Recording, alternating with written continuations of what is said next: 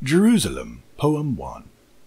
England, awake, awake, awake! Jerusalem thy sister calls. Why wilt thou sleep the sleep of death and close her from thy ancient walls? Thy hills and valleys felt her feet gently upon their bosoms move. Thy gates beheld sweet Zion's ways. Then was the time of joy and love. And now the time returns again. Our souls exult, and London's towers receive the Lamb of God to dwell in England's green and pleasant bowers. Jerusalem, Poem 2 I see the fourfold man, the humanity and deadly sleep in its fallen emanation, the spectre and its cruel shadow. I see the past, present, and future existing all at once before me.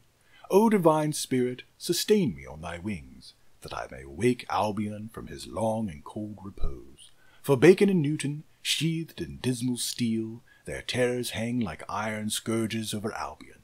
Reasonings like vast serpents enfold around my limbs, bruising my minute articulations. I turn my eyes to the schools and universities of Europe, and there behold the loom of Locke, whose woof rages dire, washed by the water wheels of Newton, black the cloth and heavy wreaths folds over every nation, cruel works of many wheels I view, wheel without wheel, with cogs tyrannic moving by compulsion each other, not as those in Eden, which within wheel, in freedom revolve in harmony and peace.